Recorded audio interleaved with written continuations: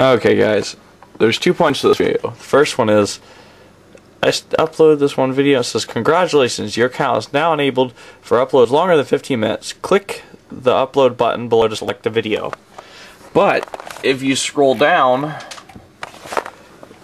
it says what videos can be high definition, up to 2 gigabytes in size, up to 15 minutes in length, wide variety of formats. So I wonder if it's just a like a special thing when you get to so many uh, subscribers? Because I haven't uploaded a video since I got to 300 subscribers so I don't know. Anyway we'll talk about the other point of this video here in a sec. Stay tuned. Anyway I have no idea why I came down to the garage. Just bored I guess. But anyway I got on YouTube this morning and I saw Stupid freaking light. Knock it off. Knock it off. Pissing me off. Anyway, I got on YouTube and I saw that Redneck Rickham had put a video up about something, and I Redneck Rickham was cool, so I watched his video, and he mentioned that Dave's farm had been terminated. Hmm. So, I don't know. I don't really have anything to say.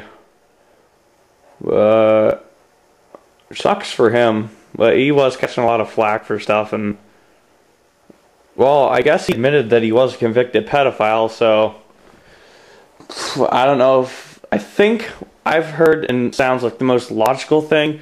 His account got deleted because you know how his Dave's Farm vlog account got deleted, and then he posted videos from that on his Dave's Farm channel. Well, um, he, I guess YouTube doesn't allow that. So I heard that might be why. I also heard that it might be because he used a, like recorded or in his uh, videos where he's starting cars, he'd let the radio play a little, and I heard they got angry about that. Maybe, I'm not sure. Oh, but there's the first look at the 1940 Chevy with this camera. But uh, yeah, I'll do another video about here in a sec. But anyway, that sucks for Dave, but uh, for every oh my God, have I drank enough yet? Whew. And I, I haven't even drank anything today.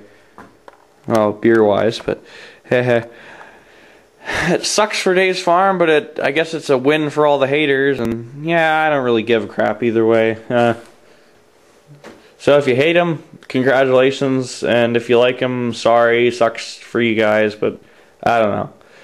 I'm just going to keep doing what I do best, and that is uh, make videos about what's going on in my life. So, uh, and if you want to leave hateful comments for no reason on my account, even, or not on my account, but on this video, even though I said nothing bad about him, go ahead. I could, I could give a shit anyway, so.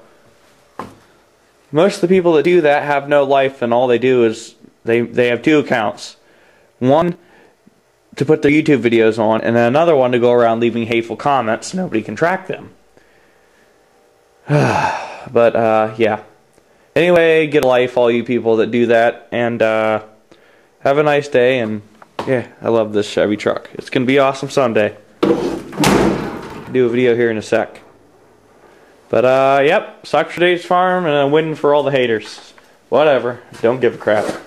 See you guys later.